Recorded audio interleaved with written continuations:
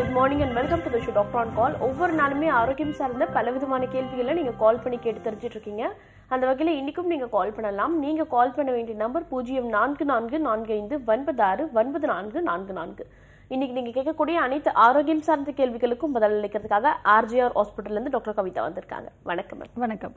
நம்ம நிகழ்ச்சியில் சொரியாசிஸ் பற்றி பலமுறை பேசியிருக்கோம். சொரியாசிஸ்ன்றது சர்மம் சார்ந்த நோய் மட்டும் கிடையாமல் இன்டர்னலாகவும் ப்ராப்ளம்ஸ் இருக்கும். அதையும் சரிப்படுத்தணும்னு சொல்லியிருக்கீங்க. அதை தாண்டி வந்துட்டு அது சைக்கோ சோஷியல் டிசார்டர் ஸோ மனசளவுலையுமே அவங்களை கொஞ்சம் உற்சாகமாக பேச வேண்டிய அவசியம் இருக்குன்னு சொல்லியிருக்கீங்க. ஸோ சொரியாசிஸ் வரதுக்கான பேசிக் ரீசன் என்னவா இருக்கும்? அது மட்டும் இல்லாமல் அதுக்கு ஒரு கம்ப்ளீட் கியூர் கொடுக்க முடியுமா? அதை பற்றி பேசலாம் மேம் வந்து இந்த சோரியாசிஸ்க்கு வந்து நம்ம நிரந்தரமாக குணப்படுத்த முடியும். சித்த மருத்துவத்தில் மூலிகை மருந்துகள் கொண்டு நம்ம கண்டிப்பாக இந்த நோயை வந்து ஹண்ட்ரட் பர்சன்ட் குணப்படுத்த முடியும். அதே மாதிரி நம்மளோட வாழ்வியல் மாற்றம் வந்து நம்ம மாத்திக்கிட்டோம் அப்படின்னா அது லைஃப் லாங் வராம பாத்துக்கலாம். ஏன்னா இப்போ பேசிக்காக வந்து மற்ற டிசீஸ்லாம் எடுத்துக்கிறீங்க மற்ற டிசீஸ் பார்த்தோம் அப்படின்னா இப்போ ஃபார் எக்ஸாம்பிள் வந்து இப்போ டைஃபாய்டு ஃபீவர் வருது அப்படின்னு சொன்னால் அது வந்து நமக்கு நம்ம எடுக்கக்கூடிய நம்ம குடிக்கக்கூடிய தண்ணியிலிருந்து வரக்கூடிய இன்ஃபெக்ஷனால நமக்கு வருது. ஸோ அப்போ வாட்டர் வந்து நம்ம ப்ரிவென்ட் பண்ணி எடுத்துக்கிட்டோம் அப்படின்னு சொன்னால் அந்த டைஃபாய்டு ஃபீவர் வந்து நமக்கு வராமல் நம்ம ப்ரிவென்ட் பண்ணிக்கலாம். பட் இந்த சோரியாசிஸ் அப்படிங்கிறது ஒரு நம்மளோட மனசு சார்ந்த ஒரு பிரச்சனையாக நம்ம பார்க்குறோம்.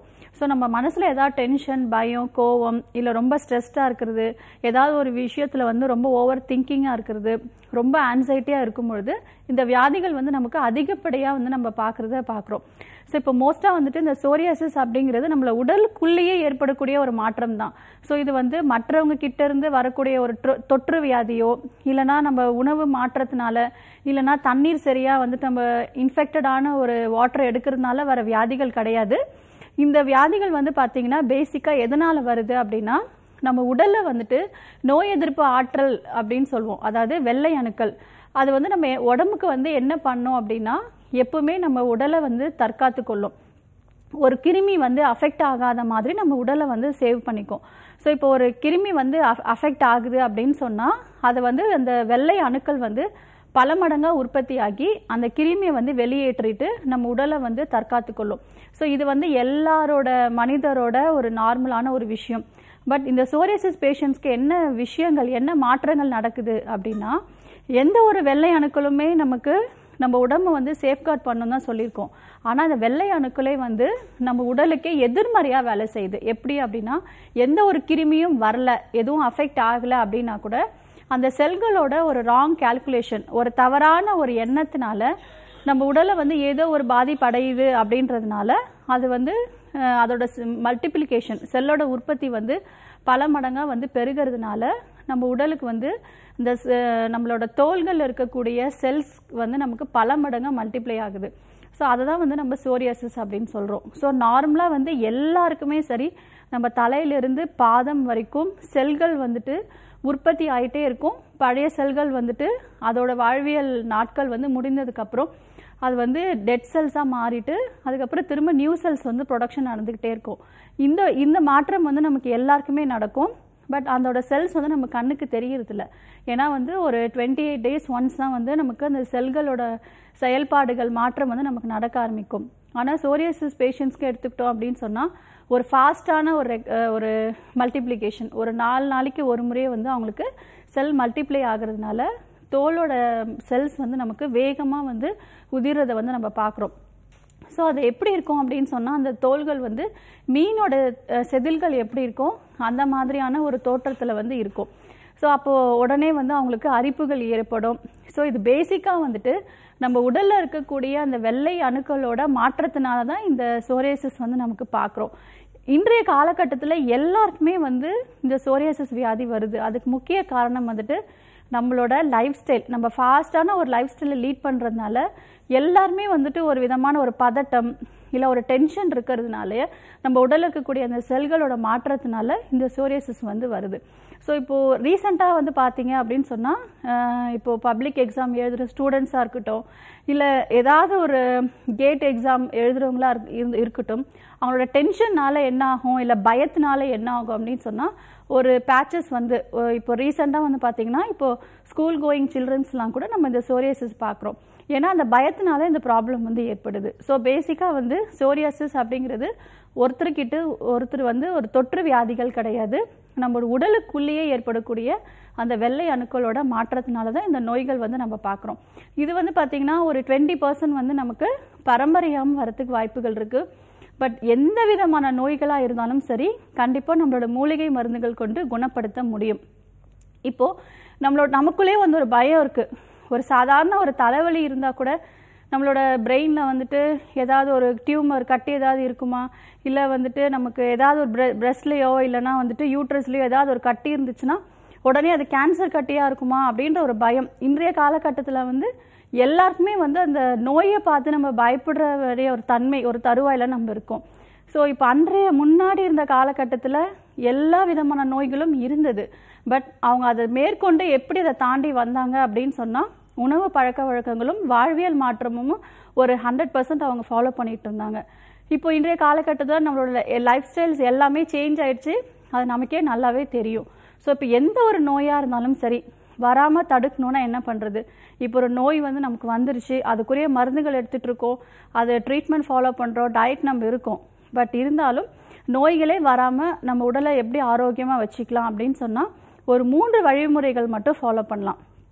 நம்ம வீட்லேயே வந்து ஈஸியாக வந்து இந்த முறைகளை ஃபாலோ பண்ண முடியும். இந்த முறைகள் ஃபாலோ பண்ணால் கண்டிப்பாக நோய்கள் இல்லாமல் ஒரு ஆரோக்கியமான உடலை வந்து நம்ம பார்த்துக்கலாம். என்ன பண்ணோம் அப்படின்னு சொன்னால் முன்னோர்கள் வந்து சொல்லியிருக்காங்க குறிப்பாக வந்து சித்த மருத்துவத்தில் இதை சொல்லப்பட்டிருக்கு இதை ஃபாலோ பண்ணாலே கண்டிப்பாக போதும். அதாவது காலையில் சுக்கு மதியம் வந்துட்டு காலையில் வந்து இஞ்சி கடும்பகல் சுக்கு மாலையில் கடுக்காய். இந்த மூன்று மூலிகையும் வந்து போதும். இது எடுத்துக்கிட்டோம் அப்படின்னு சொன்னாலே கண்டிப்பாக நம்மளோட உடலில் இருக்கக்கூடிய வியாதிகள் எல்லாமே நல்லா வந்து ஆல்ரெடி வந்து நோய்வாய்ப்பட்டிருந்தாங்க அப்படின்னு சொன்னால் இந்த மூன்று மூலிகை எடுத்தாலே போதும். நோய்கள் வராமல் வந்து பார்த்துக்கலாம் அதே மாதிரி நோய்கள் வராமல் இது ப்ரிவென்ட் பண்ணும். ஸோ காலையில் வந்துட்டு நம்ம உணவு எடுத்ததுக்கு அப்புறமா ஒரு சின்ன துண்டு இஞ்சியை வந்து தோல் சீவிட்டு நம்ம உணவுக்கு அப்புறமா எடுத்துக்கணும். மதிய உணவுக்கு அப்புறமா சுக்கு. ஒரு கால் ஸ்பூன் வந்து சுக்கு எடுத்துக்கிறது ரொம்ப நல்லது. அதே மாதிரி இரவு உணவுக்கு அப்புறமாவும் நம்ம ஒரு ஹாஃப் ஸ்பூன் வந்து கடுக்காய் எடுத்துக்கலாம். இது வந்து எல்லாருமே வந்து ஃபாலோ பண்ணலாம். வயதுக்கு ஏற்ற மாதிரி டோசேஜ் மட்டும் நம்ம பார்த்துக்கணும் ஸோ இந்த முறையை ஃபாலோ பண்ணோம் அப்படின்னு சொன்னால் மலச்சிக்கல் இல்லாமல் பார்த்துக்கலாம். வயிற்றில் வந்து எந்த தொந்தரவுகளும் இருக்காது. அதே மாதிரி இன்றைக்கி நம்ம பேசக்கூடிய இந்த சோரியசிஸ் பேஷண்ட்ஸ் கண்டிப்பாக இதை ஃபாலோ பண்ணாங்க அப்படின்னு சொன்னால் நம்மளோட வியாதிகள் வந்து முழுமையாக குணப்பெறுக்கலாம் ஸோ இந்த முறைகள் வந்து கண்டிப்பாக எல்லாருமே ஃபாலோ பண்ணாங்கன்னா கண்டிப்பாக அவங்க உடலில் வந்து நிறைய மாற்றங்கள் இருக்கும். ஸோ காலையில் வந்துட்டு சுக் இஞ்சி மதியம் வந்துட்டு சுக்கு இரவில் வந்துட்டு கடுக்காய். இது மூன்றும் ஃபாலோ பண்ணாங்கன்னு சொன்னால் கண்டிப்பாக ஆரோக்கியமான உடல் நம்ம பெறலாம். ஓகே இன்னும் பல விஷயங்கள் சோரியாசிஸ் பத்தி கேட்டு தெரிஞ்சுக்கலாம். அதுக்கு நிகழ்ச்சியோட ஃபர்ஸ்ட் காலர் இணைப்புல இருக்காங்க. ஹலோ வணக்கம் மேடம் வணக்கம் சொல்லுங்கம்மா. உங்க பேர் என்னங்கிறது கூப்பிடுறீங்க? இப்போ சங்கரி மேடம் திண்டிவனத்துல இருந்து கூப்பிடுறேன் ஓகே இப்போ யாருக்காகம்மா கேட்டு தெரிஞ்சுக்க போறீங்க? எனக்காக தான் மேடம் பேசுறேன். உங்க ஏஜ் என்னம்மா? இருபத்தி மூணாகுது மேடம் டாக்டர் இணைப்பில் இருக்காங்க. உங்களோட சந்தேகத்தை கேட்கலாம். வணக்கம் டாக்டர் வணக்கம்மா சொல்லுங்கள் எனக்கு மூணு வருஷமா சொரியாசிஸ் ப்ராப்ளம் இருக்கு டாக்டர் ஓகேம்மா அது ஃபர்ஸ்ட் இந்த கொசு கடிச்ச ஒரு மாதிரி டாட் மாதிரி இருக்கும்ல அந்த மாதிரி தான் டாக்டர் ஃபர்ஸ்ட் இருந்தது. சரி. அது அரிப்பு அதிகமாக அதிகமாக அப்படியே பேட்ச் பேட்ச் ஆயிடுச்சு. சரிம்மா தொந்தரவு அதிகமா இருக்கு. நைட்டு தூக்கமே இல்லை. அரிப்பு அதிகமா இருக்கு. தெரிஞ்ச ஒரு மாதிரி தொந்தரவு வருது? சரிம்மா ஸோ மோஸ்ட்டாக வந்து சோரியாசிஸ் வந்து நீங்கள் எப்பவுமே சொரியக்கூடாது இச்சிங் இருக்கும். ஸோ நம்ம ஆல்ரெடி ஸ்கின் டேமேஜாக இருக்கும் பொழுது நம்ம திரும்ப வந்துட்டு நம்ம டேமேஜ் பண்ணுற மாதிரி நம்ம பண்ணோன்னா இன்னும் பிரச்சனைகள் வந்து அதிகமாக இருக்கும். ஸோ இச்சிங் வந்துட்டு நமக்கு எப்போ இருக்குது அப்படின்னு சொன்னால் அந்த மல்டிப்ளிகேஷன் அதிகமாக இருக்கும்போது நமக்கு இந்த பிரச்சனைகள் வந்து வர ஆரம்பிக்கும். உங்களுக்கு ஏதாவது இல்லை நீர் மாறி இல்லை ப்ளீடிங் ஏதாவது வருதுங்களா? இணைப்பில் இருக்கீங்களாம்மா நீங்கள் ஓகே உங்க நான் ஸோ மோஸ்ட்டாக வந்துட்டு இப்போ நம்ம ஆல்ரெடி டிஸ்கஸ் பண்ணியிருக்கிறது ஸ்கின் ப்ராப்ளம்னு எடுத்துக்கிட்டோம்னாலே நமக்கு பிளட் பியூரிஃபை பண்ணோம் அப்படின்னா நம்ம ஹண்ட்ரட் பர்சன்ட் வந்து குணப்படுத்த முடியும்.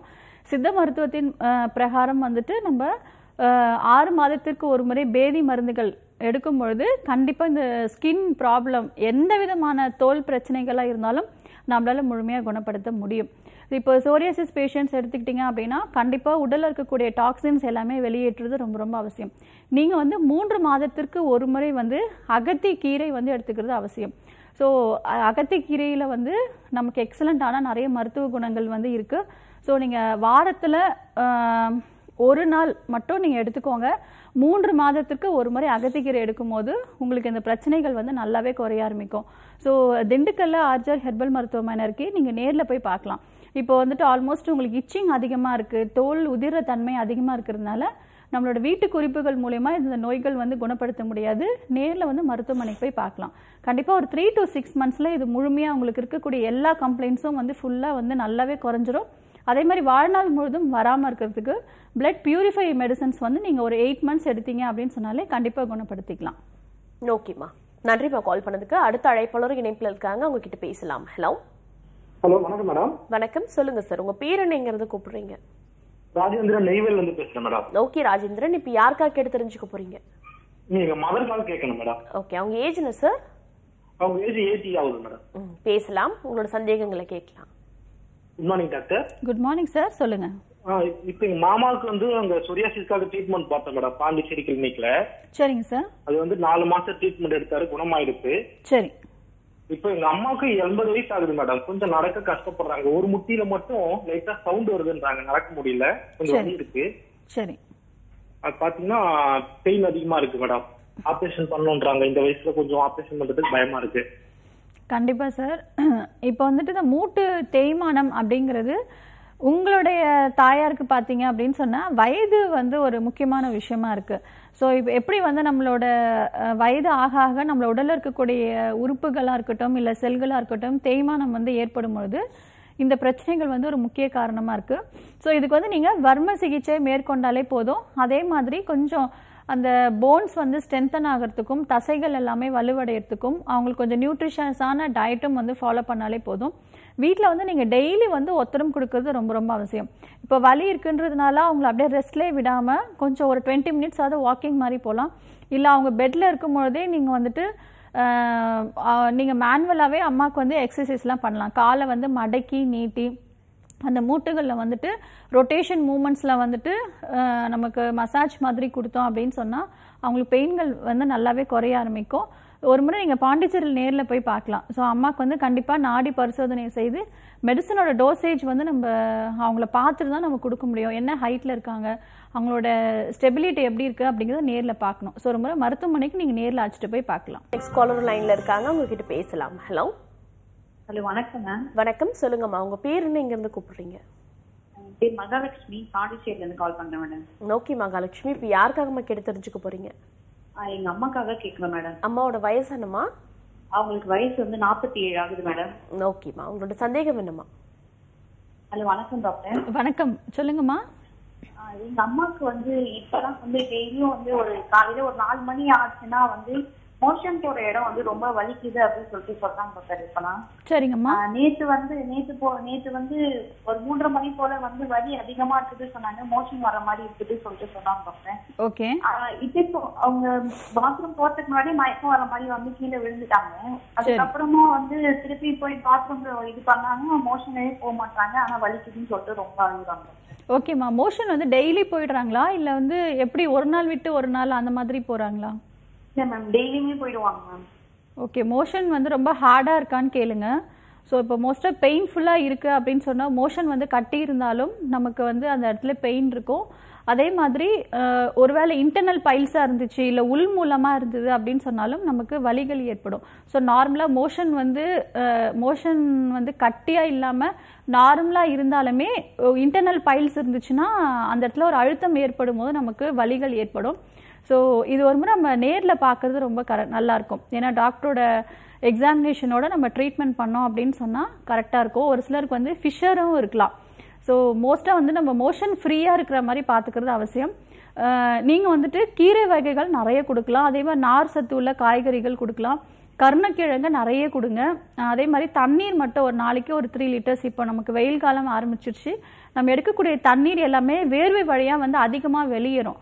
அப்போ நம்ம உடலில் வந்துட்டு நீர் சத்துக்கள் குறையறதுக்கு நிறைய வாய்ப்புகள் இருக்குது ஸோ நம்ம எடுக்கக்கூடிய தண்ணீர் வந்து நமக்கு நிறைய விஷயத்துக்கு வந்து யூஸ்ஃபுல்லாக இருக்குது நம்ம தலையிலிருந்து பாதம் வரைக்கும் ஃபார் எக்ஸாம்பிள் வந்து முடிக்குன்னு பார்த்தீங்கன்னா ஹேர் ரூட்ஸ்க்கும் நமக்கு எடுக்கக்கூடிய தண்ணிகள் வந்து தேவை. தண்ணி கம்மியாக குடித்தாங்க அப்படின்னு சொன்னாலே நமக்கு முடி கொட்டுறதுலேருந்து நமக்கு பிரச்சனைகள் வந்து ஏற்படும். ஸோ அதனால் ஒரு ஒரு விஷயத்துக்கும் நமக்கு எடுக்கக்கூடிய தண்ணி ஒரு முக்கியமான விஷயமா இருக்குது பாடியில் இருக்கக்கூடிய டாக்ஸின்ஸ் எல்லாமே எக்ஸ்க்ரீட் ஆகும். நமக்கு இருக்கக்கூடிய அந்த யூரிக் ஆசிட் இது எல்லாமே நமக்கு யூரின் வழியாக எக்ஸ்க்ரீட் ஆகணும். மோஷன் ஃப்ரீயாக போகணும்னா தண்ணி குடிக்கிறது ரொம்ப ரொம்ப அவசியம். அதனால் அதை மட்டும் கொஞ்சம் பேலன்ஸ் பண்ணி பாருங்கள் நீங்கள் டெய்லி வந்து நைட்டு தூங்கும் பொழுது திரிபலா சூரணம் அதாவது கடுக்காய் நெல்லிக்காய் தாண்டிக்காய் இதுவே வந்து போதுமானது. மோஷன் வந்து நல்லா ஃப்ரீயாக போக ஆரம்பிச்சிடும் அதே மாதிரி உடலில் இருக்கக்கூடிய கழிவுகளும் வெளியேறும். இந்த மூன்று மூலிகைகளும் சம அளவு பொடி பண்ணி வெந்நீரில் ஐந்து கிராம் மட்டும் நைட்டு கொடுத்துக்கிட்டே வாங்க. பெயின் வந்து நல்லாவே குறைய ஆரம்பிச்சிடும் ஒருவேளை ஆசன வாயில வந்து வெடிப்பு இருக்குது அப்படின்னு சொன்னால் வெளிப்பிரயோகமாக ஒரு சில மருந்துகள் வந்து எடுக்க வேண்டியதாக இருக்கும். ஸோ பாண்டிச்சேரியில் நீங்கள் நேரில் போய் பார்க்கலாம். ஸோ மருத்துவரோட ஆலோசனை பிரகாரம் மருந்து எடுக்கிறது ரொம்ப அவசியம்.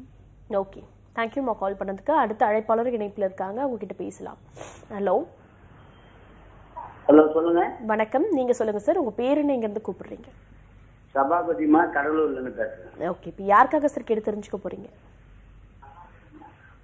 ஹலோ ஹலோ சொல்லுங்கம்மா. இப்போ யாருக்காக சார் கேள்வி கேட்டு தெரிஞ்சுக்க போறீங்க? ஏங்க டாக்டர்கிட்டம்மா இல்ல சார் இது உங்களுக்கான கேள்வியா? உங்களோட வயசு என்ன எனக்கு சுகரும் பிபி இருக்கு. வயசு நாற்பத்தி எட்டு. ஓகே சார் பேசலாம். சுகர் பிபி இருந்தா மேல பந்தல் சாதம் எதுவும் ஊழல் வருங்களா? சரிங்க ஐயா சொல்லுங்க. எத்தனை வருஷமா உங்களுக்கு சுகர் இருக்கு? எனக்கு சுகர் ரெண்டு மூணு வருஷமா இருக்குமா? சரி இப்போ சு- சர்க்கரையோடைய அளவு தெரியுங்களா? ஐயா இணைப்பில் இருக்கீங்களா? சொல்லுங்க. ஹலோ ஓகே உங்களுக்கு சர்க்கரை எந்த அளவில் இருக்கியா? நீங்கள் இணைப்பில் இருக்கீங்களா? ஓகே அடுத்த முறை நீங்கள் கால் பண்ணும்போது நிச்சயமாக எந்த அளவில் இருக்குது சர்க்கரைன்னு சொல்லுங்கள் சார் நன்றி கால் பண்ணதுக்கு. இப்போ சொரியாசிஸ் பற்றி பேசிகிட்டு இருக்கும்போது வந்துட்டு நிறைய சின்ன பைச பசங்களுக்கு கூட வரதுக்கான வாய்ப்புகள் இருக்குது அப்படின்ற மாதிரி சொல்லியிருக்கீங்க. ஸோ ஒன் சொரியாசிஸ் வந்துருச்சுன்னா திரும்ப திரும்ப வருமோன்ற பயம் பல பேருக்கு இருக்குது அது இல்லாமல் கம்ப்ளீட்டாக ஒரு கியூர் கிடைக்குமா மேம் கோர்ஸ் ஆஃப் ட்ரீட்மெண்ட் எடுத்துக்கும் போது இப்போ வந்துட்டு ஏன் வந்து திரும்ப திரும்ப வந்துக்கிட்டே இருக்கு அப்படின்னா ஃபஸ்ட்டு வந்துட்டு நம்ம எடுக்கக்கூடிய ட்ரீட்மெண்ட் வந்து எந்த மாதிரியான ட்ரீட்மெண்ட் அப்படிங்கிறத முக்கியமாக பார்க்க வேண்டியதாக இருக்குது இப்போ வெளிப்பிரயோகமாக இருக்கக்கூடிய அந்த தோள்கள் உதிர்ற தன்மையாக இருக்கட்டும் இல்லை அந்த பேச்சஸில் இருக்கக்கூடிய அந்த இச்சிங் எல்லாம் குறையிற மாதிரியான மருந்துகள் எடுக்கும் பொழுது அதாவது உடலில் இந்த சோரியாசிஸ்னால ஏற்படக்கூடிய அறிகுறிகளை மட்டும் நம்ம கட்டுப்படுத்துகிற அளவுக்கு நம்ம மருந்துகள் எடுத்தோம் அப்படின்னா கண்டிப்பாக அந்த மருந்துகள் விட்ட உடனே திரும்ப திரும்பவும் நமக்கு இந்த பிரச்சனைகள் வந்து வர ஆரம்பிக்கும். ஸோ இப்போ சோரியாசிஸ்க்கு முழு காரணம் என்ன அப்படிங்கிறத ஃபஸ்ட்டு வந்து அதில் அஃபெக்டாக இருக்கவங்க வந்து தெரிஞ்சுக்கணும். ஸோ இது கொஞ்சம் மனசு வந்து நம்ம கொஞ்சம் ஹைப்பர் ஆக்டிவிட்டி கொண்டு போனோம் அப்படின்னு சொன்னால் இந்த சோரியாசிஸ் பிரச்சனைகள் வந்து அதிகமாகும் அப்படிங்கிறத ஃபஸ்ட்டு அவங்கள வந்து நமக்கு எஜுகேட் பண்ணுறோம் அதுக்கப்புறம் ஒரு சில உணவு பழக்க வழக்கங்கள் எடுக்கும் பொழுதும் இந்த தோல் வியாதிகள் வந்து நமக்கு அதிகமாகிறத பார்க்குறோம் அதே மாதிரி நம்ம எடுக்கக்கூடிய மூலிகை மருந்துகள் மூலிமா கண்டிப்பாக குணப்படுத்த முடியும். ஒரு கோர்ஸ் ஆஃப் ட்ரீட்மெண்ட் வந்து சோரியாசிஸ் பேஷண்ட்ஸ் எடுக்கிறது முக்கியமான ஒரு விஷயமா இருக்குது இப்போ சித்த மருத்துவத்தின் பிரகாரம் வந்துட்டு மூலிகை மருந்துகள் எடுக்கும் பொழுது ஒரு ஒரு மாத காலத்திலே வந்து பார்த்திங்கன்னா அவங்களுக்கு அந்த வியாதிகள் வந்து முற்றிலும் வந்து குணமடைஞ்ச மாதிரி தெரியும். ஸோ நமக்கு என்ன தோணும் அப்படின்னா ஜென்ரலாகவே நமக்கு இந்த வியாதிகள் வந்து முழுமையாக குணமாயிடுச்சு. நம்ம மருத்துவரை போய் பார்க்க வேண்டாம். மருந்துகள் நம்மளே ஸ்டாப் பண்ணிக்கலாம்னு சொல்லிட்டு செல்ஃப் மெடிகேஷன்ஸ் மாதிரி நிறைய பேர் வந்து ட்ரீட்மெண்ட்ஸ் வந்து ஸ்கிப் பண்ணுவாங்க. அது மாதிரி ஃபாலோ பண்ணும்போது பிளட்டுக்குள்ளேயே வந்து நமக்கு அந்த பிரச்சனைகள் வந்து இருக்கும். அப்போது கண்டிப்பாக வந்து ஒரு மூன்று மாத காலமோ இல்லை எட்டு மாதத்துக்கு அப்புறமோ திரும்ப வரத்துக்கு வாய்ப்புகள் இருக்குது சித்த மருத்துவத்தின் பிரகாரம் வந்துட்டு பியூராக வந்து பிளட் பியூரிஃபை பண்ணிட்டோம் அப்படின்னு சொன்னால் கண்டிப்பாக இந்த நோய்கள் வந்து குணப்படுத்தலாம். ஸோ முறையான ஒரு மருத்துவம் மேற்கொள்ளாதவங்களுக்கும் இல்லை ஒரு சில உணவு கட்டுப்பாடு இல்லாதவங்களுக்கும் கண்டிப்பாக வந்து இந்த பிரச்சனைகள் வந்து மீண்டும் மீண்டும் வரத்துக்கு நிறைய வாய்ப்புகள் இருக்குது ஸோ டாக்டரோட ஆலோசனை பிரகாரம் நாங்களே வந்து மருந்துகள் நாடி பரிசோதனை பிரகாரம் அவங்களோட நோய் தன்மைக்கு ஏற்ற மாதிரி மருந்துகள் வந்து இதோட போதும் நம்மளோட லைஃப் ஸ்டைல் மட்டும் ஃபாலோ பண்ணிக்கலாம் அப்படிங்கிற மாதிரி நாங்கள் அட்வைஸ் கொடுப்போம். ஸோ அது வரைக்கும் வந்து டாக்டரோட கைடன்ஸோட அவங்க மெடிசன்ஸ் எடுத்தாங்கன்னு சொன்னால் கண்டிப்பாக அது முழுமையாக குணம் பெற முடியும். இது வந்து சி- சின்ன வயசுலேருந்து ஏன் வருது அப்படின்னு சொன்னால் நான் ஆல்ரெடி சொன்ன மாதிரி மனசில் வந்து கொஞ்சம் ஏதாவது டிஸ்டர்பன்ஸ் இருந்துச்சு அப்படின்னு சொன்னாலே நமக்கு ஒரு சின்ன பேச்சஸ் வந்து பார்க்குறது இருக்கிறத பார்க்குறோம் ஸோ ஒன்ஸ் வந்து அந்த டிப்ரெஷன் எல்லாமே அவங்களுக்கு கிளியர் ஆயிடுச்சு. இப்போது ரீசெண்டாக வந்துட்டு ஒரு த்ரீ மந்த்ஸ் பேக் வந்து ஒரு ஸ்டூடெண்ட் ஒரு ரெண்டு பேச்சஸோடு வந்திருந்தாங்க. ஸோ அவங்க எக்ஸாம் முடிஞ்சதுக்கு அப்புறமா அந்த பேச்சஸ் வந்து டிஸப்பியர் ஆயிடுச்சு. மெடிசன்ஸ் எடுத்ததுனால அவங்க மைண்டும் ரிலாக்ஸ் ஆனதுனால அவங்களுக்கு மறுபடியும் வந்துட்டு இந்த வியாதிகள் வந்து வரலை. ஸோ அதனால் மனசு வந்து நம்ம ரிலாக்ஸாக வச்சுக்கிட்டோம் அப்படின்னா இந்த வியாதிகள் வந்து அதிகமாகிறது நம்ம கம்மி பண்ணிக்கலாம். ஸோ லைஃப் ஸ்டைல் மாடிஃபிகேஷனும் ஃபுட் ஹேபிட்ஸும் ஒரு முக்கியமான ஒரு விஷயமா இருக்கு. ஸோ ஆர்ஜிஆர் ஹெர்பல் மருத்துவமனையில் நான்கு தலைமுறைகளாக இந்த சோரியாசிஸ்க்கு வந்து நம்ம ட்ரீட்மெண்ட் கொடுத்துட்ருக்கோம் அதாவது ஒரு பதினஞ்சு வருஷம் இருக்கிறவங்களுக்கும் சரி இல்லை மெடிசன் போட்டு போட்டு இல்லை நிறைய பேர் வந்து ஸ்டீராய்ட்ஸ் மெடிசன்ஸ் எல்லாமே எடுத்துகிட்டு இருப்பாங்க. அப்போ என்ன ஆகும் அப்படின்னு சொன்னால் சோரியாட்டிக் ஆத்ரைட்டிஸ் கண்டிஷன்ஸ் வரைக்கும் நம்ம கொண்டு போய் லாஸ்ட் ஸ்டேஜ் வரவங்களை கூட நம்ம முழுமையாக குணப்படுத்த முடியும். ஸோ நான்கு தலைமுறைகளை நம்மளோட மருந்துகள் எல்லாமே வந்து நாங்களே தயாரிக்கிறதுனால முற்றிலும் வந்து எந்த சைடு எஃபெக்ட்ஸும் இல்லாத ஒரு மூலிகை மருந்துகள் மூலயமா அதே மாதிரி நோய்க்கு எந்தெந்த சீசன்ஸ்க்கு என்னென்ன மாதிரி மருந்துகள் கொடுக்கணும் அப்படிங்கிறதும் நம்ம வந்து ஒரு ரிசர்ச் மாதிரி நம்ம இந்த இந்த கிளைமேட்க்கு இந்த பேஷண்ட்ஸ்க்கு நம்ம கொடுக்கும்போது என்ன ரிசல்ட் இருக்கு? அப்படி இந்த மருந்துகளும் பார்த்தீங்கன்னா ப்ரிப்ரேஷன்ஸ் வந்து நிறையவே இருக்கு. இந்த மெத்தட்ஸில் யூஸ் பண்ணணும் அப்படிங்கிறது. ஸோ அது எல்லாமே வந்து கை தேர்ந்த மருத்துவர்களால் வந்து நம்ம சித்த மருத்துவத்தின் பிரகாரம் வந்து நம்ம மருந்துகள் கொடுக்கறதுனால சோரியசஸ் வந்து நம்ம நிச்சயமாக ஆஜய் ஹெர்பல் மருத்துவமனை மூலம் குணப்படுத்த முடியும். ஓகே மேம் நிகழ்ச்சியோட அடுத்த அழைப்பாளர் இணைப்பில் இருக்காங்க. அவங்க கிட்ட பேசலாம். Hello hello. வணக்கம். சொல்லுங்க உங்க பேர் என்ன? வணக்கம் மேடம். என் பேர் பாம்லா மேடம். எங்க இருந்து கூப்பிடுறீங்க? வயசு எனக்கு ஜட்டிப்பட்டு ஒரு கிராமத்துல பேசுறேன் மேடம். ஓகே ஃபைன்மா உங்களோட சந்தேகத்தை கேட்கலாம். டாக்டர் இணைப்பில் தான் இருக்காங்க. வணக்கம் டாக்டர். அம்மா வணக்கம். சொல்லுங்க. மேடம் சாப்பிட்டு அப்படியே வந்து முழு சாப்பிட்ட உடனே அப்படியே அடிச்சுக்குது மேடம்.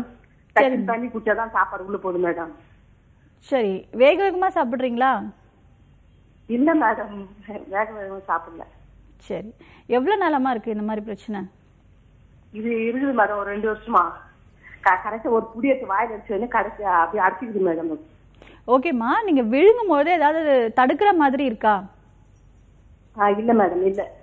அதுக்கு மாதிரி இல்ல மேடம் இந்த கரெக்டா இந்த தொண்டை நெகிருதுல மேடம் அப்படியே அங்க அப்படியே அடிச்சுக்குது மேடம் சரிம்மா. நீங்க மெதுவா உணவு விழுங்கும் பொழுது இந்த பிரச்சனைகள் இருக்கா? ஆஹா இல்ல மேடம் இல்ல.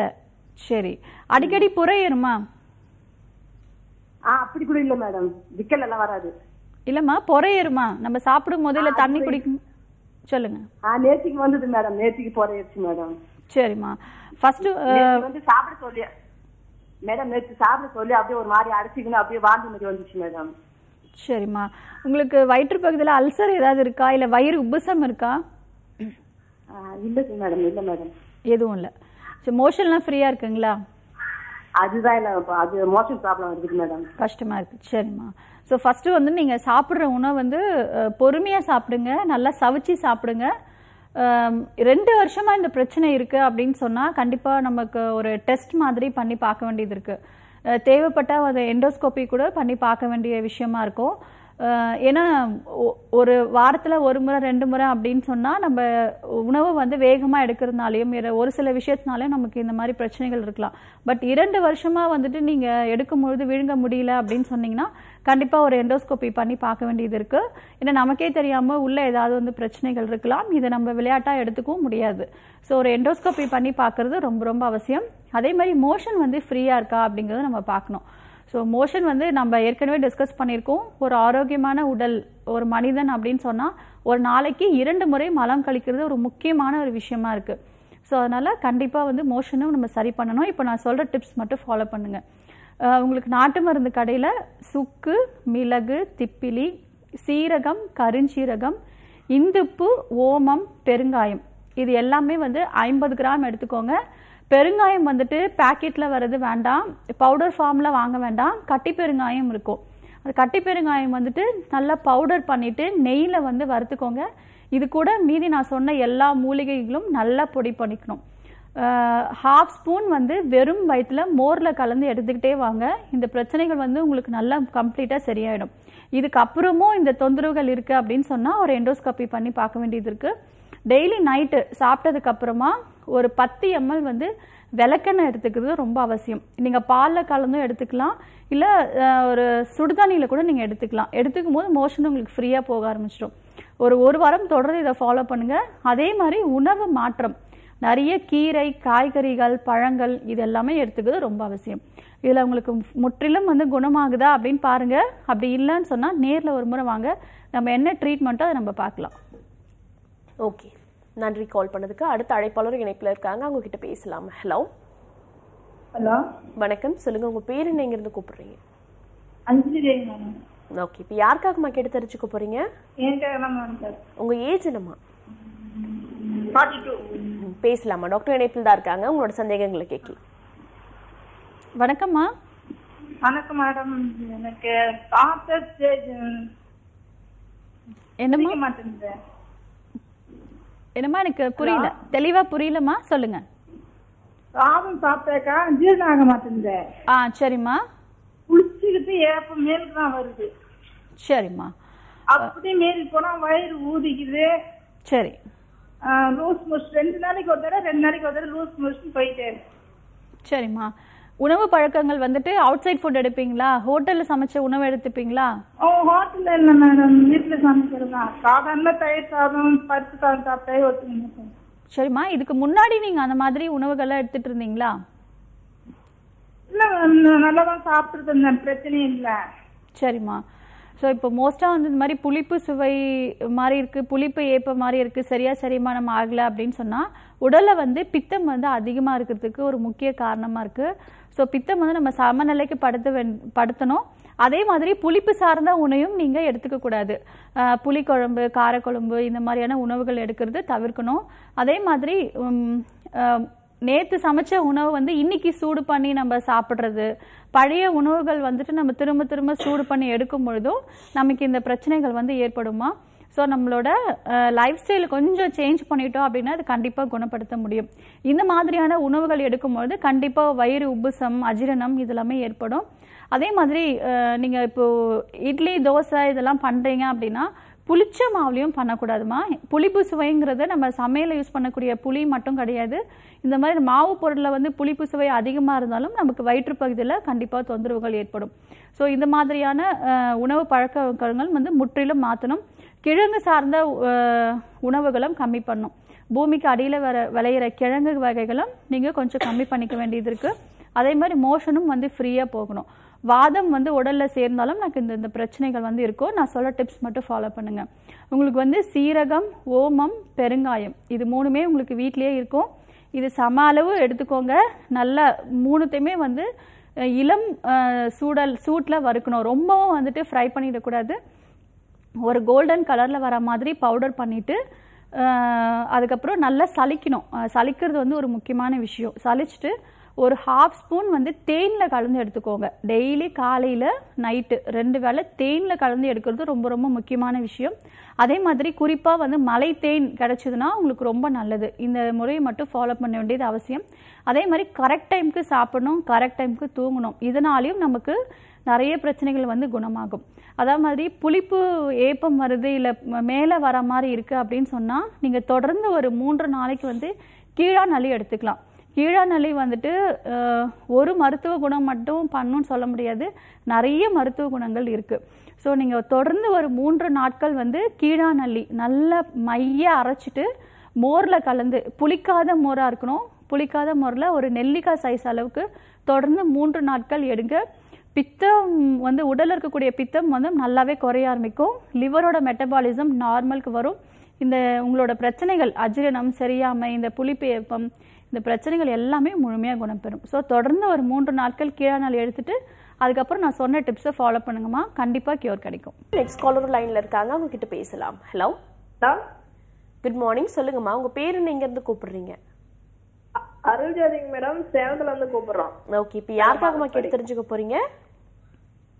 என் பையன் ஒன்றரை வருஷம் தான் ஆகுது ஓகேம்மா ஆனா மோசன் போகும்போது பாத்தீங்கன்னா ரொம்ப முக்கிட்டு ஒரு மாதிரி உடம்புலாம் ரொம்ப வேர்த்துருது சரிங்கம்மா. சொல்லுங்க. போறதே ரொம்ப கஷ்டப்படுற மாதிரி இருக்கு. சரி. அதான் என்னான்ட்டு கேட்கலான்ட்டு கால் பண்ணோம். ஓகேம்மா. உணவு முறைகள் என்னெல்லாம் சாப்பிட்றாரு? அது பையன் வந்து டுவென்ஸ் என்னம்மா? ரெட்ட குழந்தையா பிறந்தான். சரிம்மா சரி. அதனால பால் வந்து பத்தாததுனால இது பால் வந்து டின்ல பவுடர் வாங்கி தான் கலந்து கொடுக்குறோம். ஓகேம்மா ஆஹ் அதான். அது அப்புறம் சாப்பாடு நம்ம சாப்பாடு இட்லி இது மாதிரிதான் டிஃபன் ஏதோ சாப்பிடுறோம். சரிம்மா. குழந்தையோட வயது என்ன? ஒன்றரை வயசு ஆகுதுங்க மேடம் சரிம்மா. இப்போ மோஸ்ட்டாக வந்துட்டு நீங்கள் பசும் பால் கொடுக்கறதுக்கு ட்ரை பண்ணுங்க. சரிங்களா? பசும்பாலுங்களா ஆமாம் ஆஹ் மோஸ்ட்டாக வந்து இப்போ பசும்பால்லே வந்து நம்ம நிறைய எடுத்தோம் அப்படின்னு சொன்னால் மலச்சிக்கல் வரும். ஸோ அது ரெகுலராக வந்து பால் குடிக்கிறவங்க மலச்சிக்கல் இருக்குது அப்படின்னு சொன்னால் அவங்களோட ஃபுட் ஹேபிட்ஸ் கேட்டோம்னா கண்டிப்பாக பால் நிறைய குடிச்சிக்கிட்டே இருப்பாங்க. ஸோ பால் வந்து நிறைய குடிச்சிக்கிட்டே இருந்தோம்னா உடம்புல வந்துட்டு கோழை ஃபார்ம் ஆகும். அதாவது சளி ஃபார்ம் ஆகும். அதே மாதிரி மலச்சிக்கல் பிரச்சனையும் ஏற்படும். சரிங்களா? ஸோ மோஸ்ட்டாக வந்து நம்ம என்ன சொல்லிட்டு இருக்கோம்னா பேக்கெட்டில் வர எந்த ஐட்டம்ஸும் வந்து முற்றிலும் வந்து நம்ம உடலுக்கு வந்து ஒரு ஒத்துக்காத ஒரு விஷயம். அதனால் நீங்கள் பசும்பால் வந்து குழந்தைக்கு கொடுக்க ஆரம்பிங்க. நிறைய சேஞ்சஸ் வந்து தெரியும். மோஷன் வந்து ஃப்ரீயாக போக ஆரம்பிப்பாங்க. அதே மாதிரி பசும்பாலும் வந்து நல்லா காய்ச்சறது ஒரு முக்கியமான விஷயம். ஸோ இப்போ கோழை வந்து ஃபார்ம் ஆகிட்டே இருக்கும். பால் கொடுக்கும்போது நிறைய சளி வந்து உற்பத்தி ஆயிட் ஆயிட்டு இருக்கக்கூடிய தன்மை இருக்குன்னு நான் சொல்லியிருக்கேன். பாலை வந்து சரியாக காய்ச்சல அப்படின்னு சொன்னாலும் நமக்கு வந்து நமக்கு இன்ஃபெக்ஷன் ஏற்படும். சளிகள் வந்து வரத்துக்கு நிறைய வாய்ப்புகள் இருக்குது ஸோ அதனால் கண்டிப்பாக வந்து ஒரு பதினஞ்சு நிமிஷமாவது பாலை வந்து நல்லா நம்ம தண்ணி நிறைய ஊற்றி கொதிக்க வைக்கிறது ஒரு முக்கியமான விஷயம். ஏன்னா நமக்கு அதில் நமக்கு பால்லையும் வந்துட்டு நமக்கு வைரஸ் அந்த கிருமிகள் வந்து மிக்ஸ் ஆகி தான் நமக்கு வரும். ஏன்னா அந்த மாட்டோட அந்த மடியிலேருந்து அந்த காம்பில் வந்து நமக்கு நிறைய கிருமிகள் வந்து இருக்கும். ஸோ அதை கறந்து நமக்கு அப்படியே கொடுக்கும் பொழுது அந்த கிருமி நம்ம சரியாக க கொதிக்க வைக்காமல் நம்ம குழந்தை கொடுத்தாலும் அதனாலையும் நமக்கு வந்து சளி இருந்துக்கிட்டே இருக்கும். ஸோ அதனால் இந்த முறைகள்லாம் ஃபாலோ பண்ணணும். பால் வந்து நல்லா கொதிக்க வச்சு கொடுங்க. அதே மாதிரி பால் வந்துட்டு குழந்தை ஆரோக்கியமாக வளரணும் அப்படின்னு சொல்லிட்டு நம்ம பாலை வந்து திக்காக கொடுக்குறோம். அதுவும் வந்து ஒரு தவறான ஒரு விஷயம். தண்ணியாக கொடுக்கறது ரொம்ப ரொம்ப நல்ல விஷயம். ஸோ நிறைய தண்ணி ஊற்றி பாலை வந்துட்டு ஒரு லிக்விட் ஃபார்மில் கொடுங்க. அதே மாதிரி ஊட்டச்சத்து உள்ள உணவு கொடுத்தாலே போதும். குழந்தை வந்து பால் குடிக்கவே இல்லை அப்படின்னு நீங்கள் நினைக்க வேண்டாம். ஸோ ஆரோக்கியமான ஒரு உணவு பழக்க வழக்கங்கள் ஃபாலோ பண்ணாலே போதும். ஸோ நீங்கள் குழந்தைக்கு டெய்லி என்ன பண்ணலாம் அப்படின்னா பூண்டு எடுத்துக்கோங்க. குறிப்பாக வந்துட்டு நாட்டு பூண்டாக இருக்கட்டும். இப்போ பூண்டில் கூட ஹைப்ரிட் வந்து வந்துருச்சு. ஸோ அந்த ஹைப்ரிடோட பூண்டு பார்த்தீங்கன்னா அது பார்த்தவே ரொம்ப பெரிய சைஸாக இருக்குது பூண்டோட தன்மை அதில் இருக்கிற மாதிரியே இருக்காது. ஸோ அதனால் நாட்டு பூண்டாக எடுத்துக்கோங்க. ஒரு நாலு பல்லு பூண்டு எடுத்துக்கோங்க. ஒன்று ரெண்டாக நசுக்கி பாலில் வந்து நல்லா வேக வச்சுருங்க. சாஃப்டாக அந்த பூண்டு இப்படி நல்லா நசுக்கும் பொழுது நல்லா சாஃப்டாக இருக்கணும். ஒரு குழக்குழப்பான ஒரு தன்மை வரணும். ஸோ அதுக்கப்புறம் அந்த பூண்டையும் வந்து குழந்தைக்கு கொடுத்துட்டு அந்த பூண்டு பாலும் வந்து கொடுங்க. மோஷன் வந்து நல்லா ஃப்ரீயாகவே போக ஆரம்பிச்சிடும். அதே மாதிரி மாதத்துக்கு இரண்டு முறை வந்து விளக்கெண்ணெய் கொடுக்கலாம். சுத்தமான விளக்கெண்ணெயாக இருக்கணும். அது நீங்கள் வீட்டில் ஸ்டோர் பண்ணி வைக்கும் பொழுதும் ஒரு கண்ணாடி பாத்திரத்தில் ஸ்டோர் பண்ணுங்கள் பிளா பிளாஸ்டிக் ஐட்டம்ஸ் எதுவும் வேண்டாம். ஸோ அந்த விளக்கெண்ணையும் வந்துட்டு நீங்கள் கொடுக்கறதுக்கு முன்னாடி லைட்டாக ஹீட் பண்ணிக்கலாம். ஒரு கால் ஸ்பூன் விளக்கெண்ணெய் போதும். அதுவும் வந்துட்டு நீங்கள் நல்லா கையில் இல்லை பாலாடையில் வந்துட்டு அந்த விளக்கெண்ணெய் வந்து நல்லா தேய்ச்சிட்டே வந்தீங்க அப்படின்னு சொன்னால் வெண்ணெய் மாதிரி திரண்டு வரும். அந்த ஸ்டேஜில் வந்து நாக்கில் குழந்தைக்கு தடை விட்டுட்டு தண்ணியெல்லாம் கொடுத்தீங்கன்னா போதும். மோஷன் நல்லா ஃப்ரீயாக போக ஆரம்பிச்சிடும். குறிப்பாக நம்ம லைஃப் ஸ்டைல் நம்மளோட உணவு பழக்க வழக்கங்கள் மாற்றிட்டோம் அப்படின்னு சொன்னாலே மலச்சிக்கல் இல்லாமல் பார்த்துக்கலாம் இந்த காலகட்டத்துக்கு தண்ணீர் வந்து நிறைய குடிக்க வேண்டியதாக இருக்குது இதை ஃபாலோ பண்ணாலே போதும். சப்போஸ் இதுலேயும் உங்களுக்கு க்யூர் ஆகலை அப்படின்னு சொன்னால் நேரில் ஒரு முறை மருத்துவர் வந்து பார்க்கலாம். ஓகேம்மா நன்றிம்மா கால் பண்ணதுக்கு. நெக்ஸ்ட் காலர் லைன்ல இருக்காங்க. அவங்க கிட்ட பேசலாம். ஹலோ ஹலோ வணக்கம். சொல்லுங்க. உங்க பேரு நீங்க இருந்து கூப்பிடுறீங்க? வணக்கம் மேடம். நான் சென்னையில இருந்து பேசுறேன். ஓகேம்மா பேர் வசந்தா? குழந்தைங்களுக்கு சளி பிடிக்காம இருக்கிறதுக்காக சளி பிடிச்சாலும் நம்ம வீட்லயே நம்ம ஏதாவது பண்ற மாதிரி இருக்கணும். அதுக்காக மேடத்திட்ட கேட்கணும் ஓகேம்மா எத்தனை வயசு குழந்தைக்காகம்மா கேக்குறீங்க? வயசு வந்து பேரன் பேத்தி தான். பே- பேரனுக்கு அஞ்சு வயசு ஆகுது பேத்திக்கு மூணு வயசு ஆகுது மேடம். ஓகேம்மா பேசலாம். அம்மா வணக்கம். ஆ வணக்கம் மேடம். சொல்லுங்கம்மா. ப்ரிவென்ட் பண் சளி பிடிக்காம இருக்கிறதுக்கு கே கேட்குறீங்க இல்லையா? இல்லை சளி பிடிச்சிருக்கா இப்போ? இல்ல சளி பிடிச்சாலும் நம்மளே அதாவது ஆஸ்பத்திரிக்கு அடிக்கடி கூட்டு போக வேண்டியிருக்கு இல்லையா? சரிம்மா. பசங்களுக்கு அதனால நம்மளே ஏதாவது இந்த மூலிகை வைத்தியமா நீங்க நிறைய சொல்றீங்க. அதனால நான் கேட்டுக்கலாம். நம்ம அதுக்கு ரெடி பண்ணி நம்மளே கொடுத்துக்கலாம் இல்லையா? அதுக்கு தான் கேட்டேன். கண்டிப்பாம்மா. உடல்ல வந்து எந்த நோயும் வராம இருக்கணும்னா நம்ம ஏற்கனவே சொல்லியிருக்க மாதிரி மலச்சிக்கல் இல்லாம பார்த்துக்கணும். ஸோ இது வந்து ஒரு முக்கியமான விஷயமா இருக்கு. குழந்தைங்க வந்து டெய்லி மோஷன் நல்லா ஃப்ரீயா போறாங்களான்னு பார்க்கணும். மோஷன் போறாங்கன்றது ஒரு விஷயம் கிடையாது. ஏன்னா மோஷன் கலெக்ட் ஆக கலெக்ட் ஆக ஒரு ஸ்டேஜில் வந்து ப்ரெஷர்னால டைட் மோஷன் வந்து வெளியேற்றிடும் பட் மோஷன் வந்து ஃப்ரீயாக போகிறாங்களா எந்த ஒரு மலச்சிக்கலும் இல்லாமல் போகிறாங்களா அப்படிங்கிறத நம்ம அப்சர்வ் பண்ணோம் அது வந்து பார்க்குறது ஒரு முக்கியமான விஷயம். அதே மாதிரி இன்றைய காலகட்டத்தில் வெயில் காலம் ஆரம்பிச்சிருச்சு. கூல்ட்ரிங்க்ஸ்லாம் கொடுக்கறது முற்றிலும் தவிர்க்கணும். ஃப்ரிட்ஜில் இருக்கக்கூடிய உணவுகள் வந்துட்டு அந்த சில்னஸ் போகிறதுக்கு முன்னாடியே நம்ம சமைச்சு கொடுத்தோம் அப்படின்னாலும் இல்லைனா வந்து ஃப்ரிட்ஜில் இருந்து டேரெக்டாக வந்து ஏதாவது கூல்ட்ரிங்க்ஸ் குடித்தாலும் இல்லை குழந்தைங்க ஆசைப்படுறாங்கன்னு ஐஸ்கிரீம் கொடுத்தாலும் இல்லைனா இனிப்பு சுவை வந்து நிறைய கொடுத்தாலும் குறிப்பாக வந்து க்ரீம் பேஸ்டு அதாவது க்ரீம் பிஸ்கெட்ஸு க்ரீம் கேக்கு இந்த மாதிரிலாம் வர ஆரம்பிச்சிருக்கு. ஸோ இதெல்லாம் நம்ம கொடுத்தாலும் குழந்தைங்களுக்கு நிறைய சளி பிடிக்கிறதுக்கு வாய்ப்புகள் இருக்குது அதே மாதிரி வேர்வை அதிகமாக இருக்கும்போது குளியல் வந்து எடுக்கக்கூடாது. இன்றைய காலகட்டத்திலையும் நம்ம வெது வெதுப்பான சுடு தண்ணியில் குடித்தோம் ஐ மீன் குளித்தோம் அப்படின்னு சொன்னால் உடலுக்கு வந்து எந்த ஒரு சளி தொந்தரவுகளும் வராது. கிளைமேட் இது மாதிரி இருக்குது எப்படி அப்படின்னு நம்ம நினைக்க வேண்டாம். ஏன்னா இந்த பிரபஞ்சத்தோட இந்த நம்மளோட இயற்கையான ஒரு சூழ்நிலையோட நம்ம ஒன்றிட்டோம் அப்படின்னா கண்டிப்பாக நமக்கு எந்த ஒரு வியாதியும் வராது. அதே மாதிரி உள்ளுக்கு கொடுக்கும்பொழுதும் நம்ம வெது வெதுப்பான சுடு தண்ணி கொடுத்தாலே போதுமான ஒரு விஷயம். நீங்கள் வாரத்துக்கு ஒரு முறை என்ன பண்ணுங்க அப்படின்னு சொன்னால் வேப்ப இலையை மட்டும் கொழுந்து எடுத்து வேப்ப கொழுந்தை வந்து நல்லா பேஸ்ட் மாதிரி பண்ணி ஒரு சின்ன உருண்டை ஒரு சுண்டைக்காய் அளவு குழந்தைக்கு வெறும் வயிற்றுல கொடுங்க. எந்த வித சளி தொந்தரவுகள் இருந்தாலும் நல்லாவே கிளென்ஸ் பண்ணி கொடுக்கும். அதே மாதிரி நான் சொன்ன மாதிரி பால் பால் வந்து தண்ணியாக கொடுக்கலாம். அதில் ஒரு சிட்டிகை வந்து நீங்கள் மஞ்சள் தூள் மிளகுத்தூள் போட்டும் கொடுக்கலாம். அதே மாதிரி துளசி கஷாயம் இஞ்சி கஷாயம் இது ரெண்டும் ப்ரிவென்ட் பண்ணி கொடுக்கும். கரும் துளசியாக இருந்தால் இன்னும் ரொம்ப நல்லது.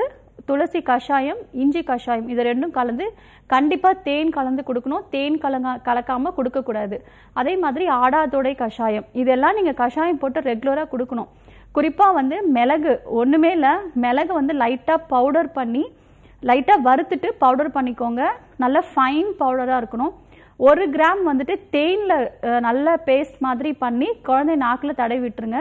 இந்த மிளகே வந்து போதுமான ஒரு விஷயம். இதெல்லாம் வந்து நீங்கள் ஃபாலோ பண்ணீங்க அப்படின்னா கண்டிப்பாக உங்களுக்கு சளி வராமல் பார்த்துக்கலாம் மிளகு இருந்தாலே போதும். நமக்கு நோய் எதிர்ப்பு ஆற்றல் அதிகமாக கிடைக்கும். ஸோ இது மாதிரி விஷயங்கள்லாம் ஃபாலோ பண்ணால் நம்ம சளி பிடிக்காமல் பார்த்துக்கலாம் சளி வந்தாலும் இந்த ட்ரீட்மெண்ட்டே நம்ம குணப்படுத்திக்கலாம். நெக்ஸ்ட் காலர் லைன்ல இருக்காங்க. அவங்க கிட்ட பேசலாம் ஹலோ வணக்கம் மேடம் வணக்கம். சொல்லுங்கம்மா. உங்க பேர் என்ன? இங்க இருந்து கூப்பிடுறீங்க? நான் ரேணுகா திருவண்ணாமலை இருந்து பேசுறேன் மேடம் ஓகே ரேணுகா. இப்போ யாருக்காகம்மா கேட்டு தெரிஞ்சுக்க போறீங்க? ஆ எனக்காக தான் மேடம் கேட்கணும். உங்க வயசு என்னம்மா? வயசு இருபத்தஞ்சாவது மேடம் பேசலாமா? டாக்டர் இணைப்பில் தான் இருக்காங்க. வணக்கம் டாக்டர் வணக்கம் ரேணுகாம்மா. சொல்லுங்க. டாக்டர் எனக்கு சொரியாசிஸ் ப்ராப்ளம் ஒரு ஆறு மாசமாவே இருக்கு. சரிம்மா. அது ஃபர்ஸ்ட் பாத்தீங்கன்னா டேண்ட்ரஃப்னு சொல்லிட்டு அப்படியே விட்டுட்டேன் தலையில. சரி. அது பாத்தீங்கன்னா இப்ப காது பின்னாடி கழுத்துக்கு எல்லாம் ஒரு மாதிரி தட்ட தட்டையா அப்படியே ஒரு மாதிரி செவந்து போயிடுது மேடம் அரிப்பு அதிகமா இருக்கு அதுல இருந்து. சரிம்மா. பவுடர் மாதிரி அப்படியே ஒரு மாதிரி கொட்டுக்கு அந்த இடத்துல. சரிம்மா. ஃபஸ்ட்டு மைண்ட் ரிலாக்ஸாக வச்சுக்கோங்க. சரிங்களா? அதே மாதிரி தண்ணி நிறைய குடிக்கணும். குறிப்பாக வந்து தோல் வியாதி இருக்கிறவங்க வந்து தண்ணி ரொம்ப கவனமாக குடிக்கணும். ஏன்னா உடலில் இருக்கக்கூடிய கழிவுகள் எல்லாமே வந்துட்டு நமக்கு தோல்கள் வழியாகவும் வெளியேறும். தோல் அப்படிங்கிற ஒரு விஷயம் வந்துட்டு நமக்கு ஒரு முக்கியமான ஒரு விஷயமா இருக்கு. நிறைய நம்மளோட உடலுக்கு வந்து நன்மை செய்யக்கூடிய விஷயங்கள் வந்து நமக்கு இந்த ஸ்கின் வந்து ஒரு முக்கியமான விஷயமா இருக்கு. ஸோ நம்ம பாடியில் இருக்கக்கூடிய டாக்ஸின்ஸ் எல்லாமே முழுமையாக வந்து வெளியேற்றும் வேர்வை முழுமையாக வந்து நமக்கு வெளியேற்றப்படும். அதனால தண்ணி மட்டும் நிறைய குடிங்க. ஒரு three to three and half litres வந்து குடிக்கிறது ரொம்ப அவசியம். அதிகமாக எக்ஸசிவாக நிறைய பேர் தண்ணி குடிப்பாங்க. ஒரு ஃபோர் லிட்டர்ஸ் ஃபைவ் லிட்டர்ஸ்னு அப்போ என்ன ஆகும் அப்படின்னா கிட்னி டேமேஜ் ஆக வாய்ப்பு இருக்குது எந்த ஒரு விஷயமும் வந்து அளவுக்கு மீறி செய்யும் பொழுது நமக்கு அது பிரச்சனையில் கொண்டு போய் விட்டுரும். ஏன்னா வந்து இப்போ நம்ம எடுக்கக்கூடிய தண்ணி வந்து ஒரு ட்ராப்பில் இருந்து கிட்னி ஃபில்டர் பண்ணி நமக்கு வெளியே யூரினா எக்ஸ்க்ரீட் பண்ணும். ஸோ அப்போ ஓவராக எக்ஸசிவாக நம்ம தண்ணி குடிச்சிக்கிட்டே இருந்தோம். அளவுக்கு மீறி நம்ம எடுத்துக்கிட்டே இருந்தோம்னா கிட்னிக்கு வந்து ஓவர்லோட் அது ஃபில்டர் பண்ணி பண்ணி வெளியே அனுப்பும் போது அதோட செயல்திற செயல்பாடுகள் வந்து கம்மியாகிறதுக்கு நிறைய வாய்ப்புகள் இருக்குது ஸோ அதனால் ஒரு three to three and half litres வந்து எடுக்கிறது ஒரு போதுமான ஒரு விஷயம். இது கண்டிப்பாக ஃபாலோ பண்ணோம். ஸ்கின் பேஷண்ட்ஸ்க்கு நாங்கள் நிறைய தண்ணி குடிக்க குடிக்க சொல்கிறோம் அப்போ தான் வந்து முழுமையாக வந்து ஸ்கின் ப்ராப்ளம் வந்து குணமாகும். சரியாக தண்ணி குடிக்கல வெறும் மெடிசின்ஸ் மட்டும் எடுத்துகிட்டே இருக்காங்க அப்படின்னு சொன்னால் அந்த டாக்ஸின்ஸ்லாம் பாடியிலே அக்கும் அக்குமுலேட் ஆகும். நம்ம வியாதிகளுக்கு மூல காரணம் கழிவுகள் தான். ஸோ அதை வெளியேற்றணும் அப்படின்னா இது மாதிரி முறைகள் ஃபாலோ பண்ணுறது அவசியம். அதே மாதிரி இந்த தோல் வியாதிகள் வந்து நம்ம முழுமையாக குணப்படுத்த முடியுமா? தைரியமாக இருங்க. அதே மாதிரி ஹேர் ஃபால் எல்லாமே நல்லாவே குறைய ஆரம்பிச்சிடும் நீங்கள் எப்பவுமே வந்து நமக்கு டேண்ட்ரஃப்க்கும் இல்லை ஸ்கின் ப்ராப்ளம்க்கும் வந்துட்டு நிறைய டிஃப்ரென்ஷியேட்ஸ் இருக்குது ஸோ டேண்ட்ரஃப்னா கூட நம்ம ஹோம் டிப்ஸ் மாதிரி ஃபாலோ பண்ணுற விஷயங்கள் இது எல்லாமே முற்றிலும் தவிர்க்கணும். அப்படி இல்லையே நம்ம ஹோம் டிப்ஸ் ஃபாலோ பண்ணுறோம் அப்படின்னா கண்டிப்பாக ஒரு ஒன் வீக்குள்ளே நல்ல டிஃப்ரென்ஸ் தெரிய ஆரம்பிச்சிடும் அப்படி கியூர் ஆகலை அப்படின்னா உடனே டாக்டரை போய் பார்க்குறது அவசியம். இப்போ இந்த ஸ்கின் ப்ராப்ளம் நீங்கள் என்ன பண்ணலாம் அப்படின்னா ஃபஸ்ட்டு ஸ்கின் ட்ரை ஆகாத மாதிரி பார்த்துக்கணும். ஏன்னா சோரியாசிஸில் ஸ்கின் வந்து ட்ரை ஆகும். ஸோ நீங்கள் செக்கில் ஆட்டின தேங்காய் எண்ணெய் வாங்கி வச்சுக்கோங்க. அதே மாதிரி நான் ஒரு வெட்பாலை தைலம் வந்து ப்ரிப்பரேஷன் நான் இப்போ சொல்கிறேன் ஆல்ரெடி நான் சொல்லியிருக்கேன். ஸோ இது ஃபாலோ பண்ணுங்கம்மா. கண்டிப்பாக உங்களுக்கு நல்ல ரிசல்ட் இருக்கும். வெட்பாலை தைலம் அப்படி எப்படி தயாரிக்கலாம் அப்படின்னா வெட்பாலை இலைகள் எடுத்துக்கலாம். அதோட காம்புகள் நரம்புகள் இதெல்லாமே எடுத்துட்டு இலைகளை நல்லா சுத்தம் பண்ணிக்கணும். ஒன்று ரெண்டா சின்ன சின்ன பீஸாக கட் பண்ணிக்கோங்க. அதே மாதிரி செக்கில் ஆட்டின தேங்காய் எண்ணெய் வாங்குறது ரொம்ப ரொம்ப நல்லது. இப்போது ரெடிமேடாக விற்கிற ஆயில்ஸ் எல்லாமே பார்த்தீங்கன்னா கண்டிப்பாக அதில் நிறைய கன்சிஸ்டன்சி வந்து ஆட் பண்ணுறாங்க குறிப்பாக வந்து தேங்காய் எண்ணெயில் வந்து நமக்கு அது இருக்கக்கூடிய அந்த கொழுப்பு தன்மை வந்து நமக்கு தோலுக்கு வந்து ஒரு நல்ல விஷயம். அதனால் செக்கில் ஆட்டின எண்ணெயை வந்து நான் வாங்க சொல்கிறேன் ஸோ ஒரு கண்ணாடி பாத்திரத்தில் வந்து இந்த தேங்காய் எண்ணெய் வந்து ஃபில் பண்ணிவிட்டு அந்த இலைகளை வந்து போட் போடணும். அதாவது இலைகள் வந்து மூழ்கிற அளவுக்கு அந்த தேங்காய் எண்ணெய் வந்து ஊற்றிட்டு வெயிலில் வந்து வச்சு வச்சு எடுக்கணுமா? தொடர்ந்து ஒரு நாற்பது நாள் இல்லை நாற்பத்தி எட்டு நாள் நீங்கள் வச்சு எடுத்துக்கோங்க. அந்த இலைகளோட கலர் எல்லாமே உங்களுக்கு நல்லா ஷ்ரிங்கன் ஆகி அந்த ஆயிலோட கலர் வந்து நல்லாவே சேஞ்சஸ் தெரியும். ஒரு மாதிரி ப்ளூயிஷ் கலரில் உங்களுக்கு மாற ஆரம்பிக்கும். அந்த தைலம் வந்து இந்த சோரியாசிஸ்க்கு ஒரு எக்ஸலண்ட்டான ஒரு மருந்து. கண்ணாடி பாத்திரத்திலே நீங்கள் ஸ்டோர் பண்ணி வச்சுக்கலாம். இதே தைலத்தை வந்து ஒரு நான்கிலிருந்து ஒரு ஐந்து இல்லைன்னா ஆறு சொட்டு வரைக்கும் நீங்கள் பசும்பால் சுத்தமான பசும்பாலில் மிக்ஸ் பண்ணி வெறும் வயிற்றுல உள்ளுக்கு எடுத்துக்கிட்டே வாங்க. இதே எண்ணெயை வந்து நீங்கள் வெளிப்பிரயோகமாக எந்தெந்த இடத்துலலாம் இந்த பேச்சஸ் இருக்கோ தலையில காதுக்கு பின்னாடி எங்கெல்லாம் இருக்கோ அங்கே ஃபுல்லாக அப்ளை பண்ணிக்கோங்க. ஒரு மணி நேரத்துக்கு அப்புறமா குளியல் பொடி கொண்டு தான் நீங்கள் குளியல் எடுக்கணும். சோப் யூஸ் பண்ணுறதுனாலையோ இல்லை ஷாம்பு யூஸ் பண்ணுறதுனாலையோ இந்த பிரச்சனைகள் வந்து கண்டிப்பாக அதிகமாகும். ஸோ குளியல் பொடி கொண்டு நீங்கள் குளிச்சுட்டே வந்தீங்க. ஒரு நாள் விட்டு ஒரு நாள் இந்த ப்ரொசீஜரை ஃபாலோ பண்ணிங்கன்னா நல்லா கம்ப்ளீட்டாக குணம் பெறும். இது கூட வந்துட்டு பிளட்டு பியூரிஃபை பண்ணுறதுக்கு நாங்கள் மருந்துகள் வந்து கொடுக்குறோம். ஸோ திருவண்ணாமலையில் தான் இருக்கீங்க. வேலூரில் நீங்கள் வந்து பார்க்கலாம். வேலூரில் ஆர்ஜிஆர் ஹெர்பல் மருத்துவமனை இருக்குது இந்த சோரியசிஸை முழுமையாக குணம் பெற முடியும். நீங்கள் உங்களுக்கோட சிம்டம்ஸ் வந்து கம்மியாக தான் இருக்குது பேச்சஸ்லாம் வந்துட்டு மைல்டாக தான் இருக்குன்னு சொல்லியிருக்கீங்க. ஸோ ஒரு த்ரீ மந்த்ஸ் நீங்கள் ட்ரீட்மெண்ட் எடுத்தாலே போதும். முழுமையாக குணம் பெறலாம். கவலைப்பட வேண்டாம். உணவு பழக்க வழக்கங்களில் எந்த உணவு உங்களுக்கு ஒத்துக்கலையோ அதை நீங்கள் விட்டுறணும். ஏன்னா இப்போ சித்த மருத்துவத்தின் பிரகாரம் பார்த்தீங்கன்னா ஒரு குறிப்பிட்ட உணவு முறைகள் வந்துட்டு எடுக்கும்போது தோலுக்கு வந்து நல்ல விஷயம் கிடையாதுன்னு சொல்லியிருக்காங்க. பட் இன்றைய காலகட்டத்தில் எந்த உணவுகள் எடுத்தாலுமே அலர்ஜி ஆகுது. ஏன்னா இப்போ வரக்கூடிய உணவு வந்து ப்ரிசர்வேட்டிவ் ஆட் பண்ணி வர்றதுனாலையும் அதே மாதிரி இயற்கை உணவுகள் எல்லாமே வந்துட்டு நமக்கு செயற்கையான உரங்கள்லாம் போட்டு வர்றதுனால எந்த உணவு எடுத்தாலுமே அலர்ஜி ஆகுது. ஸோ உங்களுக்கு எந்த உணவு எடுக்கும் பொழுது அலர்ஜி ஆகுதோ அந்த உணவு பழக்கங்கள் கம்ப்ளீட்டாக விட்டுருங்க. ஸோ நீங்கள் ஒரு முறை வேரில் போய் பாருங்கம்மா. கண்டிப்பாக க்யூர் பண்ணிக்கலாம். ஓகேம்மா நன்றிம்மா கால் பண்ணதுக்கு. நெக்ஸ்ட் காலர் லைன்ல இருக்காங்க. அவங்க கிட்ட பேசலாம். ஹலோ ஹலோ வணக்கம் மேடம் வணக்கம். சொல்லுங்கம்மா உங்க பேர் என்ன இங்கிருந்து கூப்பிடுறீங்க? வளர்மதி மேம் செஞ்சில இருந்து கால் பண்றேன். ஓகே இப்போ யாருக்காகம்மா கேட்டு தெரிஞ்சுக்க போறீங்க? எனக்காக தான் மேடம் கேட்கணும். உங்க வயசு என்னம்மா? இருபது ஆகுது மேடம் டாக்டர் இணைப்பில் தாம்மா இருக்காங்க. பேசலாம். ஹலோ வணக்கம் டாக்டர். வணக்கம்மா சொல்லுங்கள் ஆஹ் டாக்டர் அப்பாவுக்கு வந்து ஆர்ஜிஆர் ஹாஸ்பிட்டல்ல வந்து பத்து வருஷமா சொரியாசிஸ் ப்ராப்ளம் இருந்தது. சரிம்மா. சென்னையில தான் வந்து பார்த்தாங்க அந்த சொரியாசிஸ் ப்ராப்ளம் இப்போ வந்து நல்லா ஆயிடுச்சு அவருக்கு. சரிங்கம்மா உடம்புல இல்ல உடம்புல அந்த நிறைய உடம்பு ஃபுல்லாவே இருந்தது இப்ப பரவாயில்ல நான் உடம்புல அந்த வியாதி வந்ததுக்கான அறிகுறியே இல்லாம நல்லாவே இருக்காரு சந்தோஷமா? அதுக்காக ஃபர்ஸ்ட் நன்றி மேடம். எனக்கு வந்து இப்ப சளி பிரச்சனை வந்து இருக்கு மேடம். அடிக்கடி சளி பிடிச்சிருக்கு தும்மல் வந்து அதிகமா வந்துட்டு இருக்கு. சரி. அதுக்காக ஏதாவது டிப்ஸ் ஏதாவது கொடுப்பீங்க அந்த மாதிரி தான் கால் பண்ணியிருக்கேன். கண்டிப்பாம்மா. இப்போ மழை காலத்துல இல்ல பனி காலத்துல சளி பிடிக்குது ஓகே பட் வெயில் காலத்துல ஏன் நமக்கு சளி பிடிக்குது அப்படின்னு சொன்னா நம்ம இருக்கக்கூடிய ஒரு சில விஷயங்கள் தான் வந்து முக்கிய காரணம். நம்மளோட சுற்றுப்புற சூழல் வந்து ஒரு முக்கிய காரணமாக இருக்குது இப்போது நம்மளோட என்விரான்மெண்ட் வந்து என்ன ஸ்டேட்டஸில் இருக்குது நமக்கு வந்து வெயில் அதிகமாக இருக்குது அப்போ நம்ம என்ன பண்ணுறோம்னா ஏசிலேயே இருந்துக்கிட்டே இருக்கோம். அதே மாதிரி நமக்கு ஆக்சிஜன் சப்ளை வந்து நமக்கு சரியாக கிடைக்கிறதில்ல. அதே மாதிரி டஸ்ட்டு ஒரு முக்கியமான விஷயமா இருக்குது சென்னையில் வந்துட்டு ரொம்ப பொல்யூட்டடான ஒரு ஏரியா இல்லையா? ஸோ நம்ம வீட்டிலேருந்து இருந்து வெளியில் வரணுங்கிற அவசியமே இல்லை. வீட்டுக்குள்ளேயே வந்துட்டு நிறைய இந்த ஸ்மோக்னால நமக்கு பொல்யூட்டடான ஒரு ஏர்னால நமக்கு சுவாசிக்கும் பொழுது இந்த பிரச்சனைகள் வந்து அதிகமாகுது. அதே மாதிரி குறிப்பாக வந்து வெயில் காலத்தில் நம்ம உடல் வந்து உஷ்ணமாயிட்டே இருக்கும்.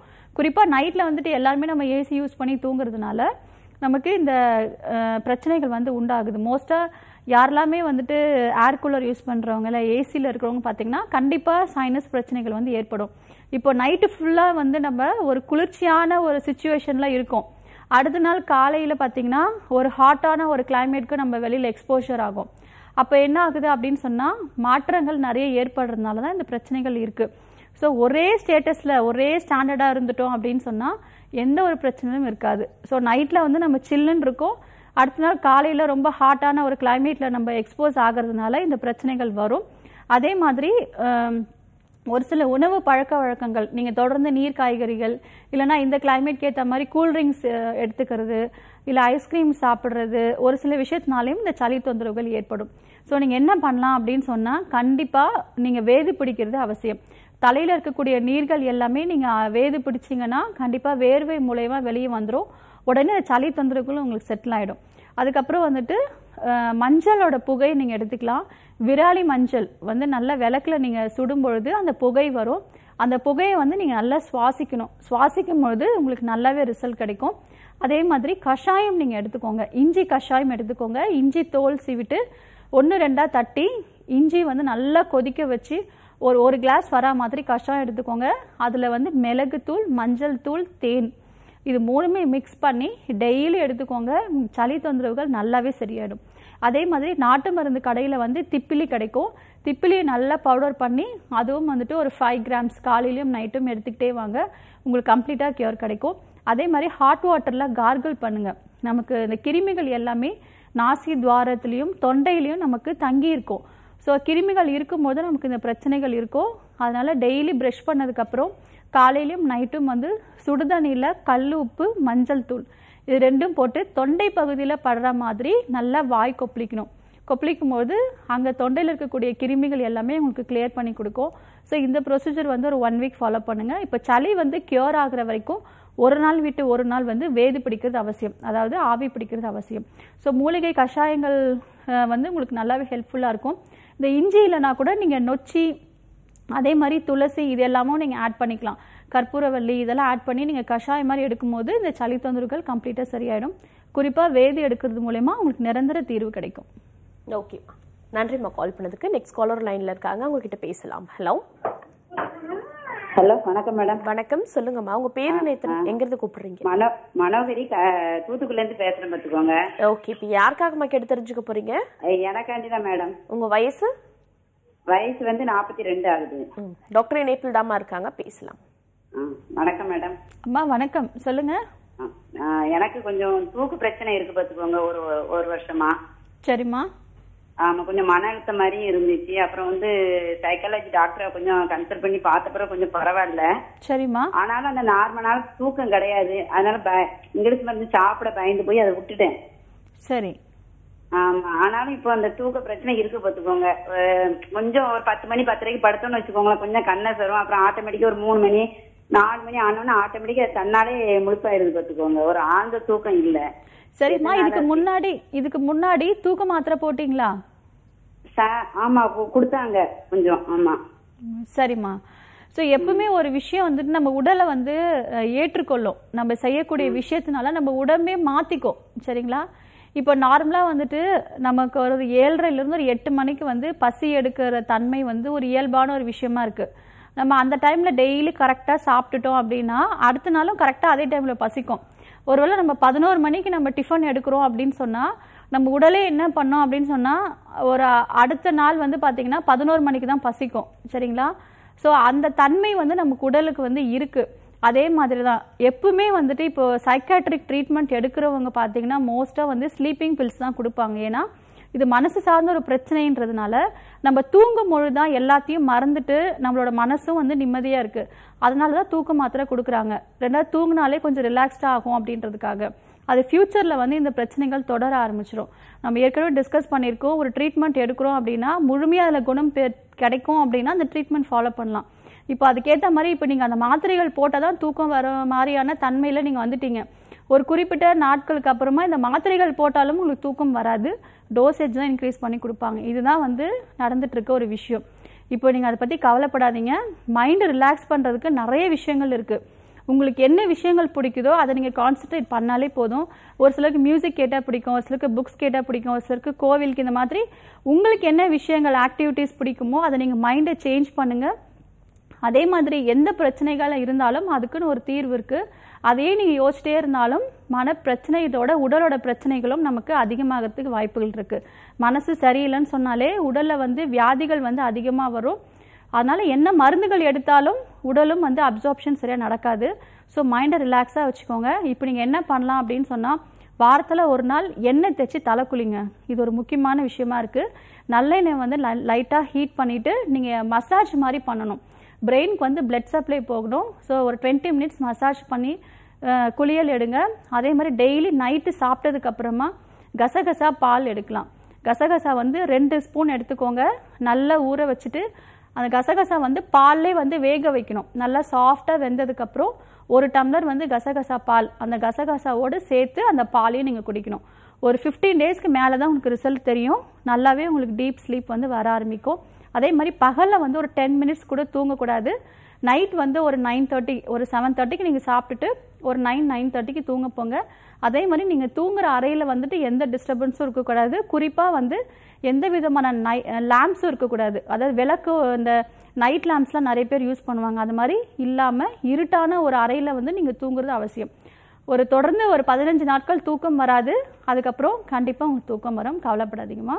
உங்களுக்கு சப்போஸ் இதில் கியூர் ஆகலைன்னா நேரில் ஒரு முறை வந்து மருத்துவரை பாருங்கள் ஓகேம்மா நன்றிம்மா கால் பண்ணதுக்கு. டாக்டர் இந்த ஒன் ஹார்ஃபில் ஆரோக்கியம் சார்ந்த எல்லா கேள்விக்குமே தெளிவாக பதில் வச்சுங்க. தேங்க்யூ தேங்க்யூ நீங்களும் வீட்டில் இருந்தபடி ஆரோக்கியம் சார்ந்த கேள்விகள்லாம் கேட்டு தெரிஞ்சுட்டு இருப்பீங்க. இதே போல் நாளைக்கும் வேறு டாக்டரோட உங்களை சந்திக்கிறேன். அண்டலன் கிரிட்டிகாட்டலின் பேஃப்னிங் வால்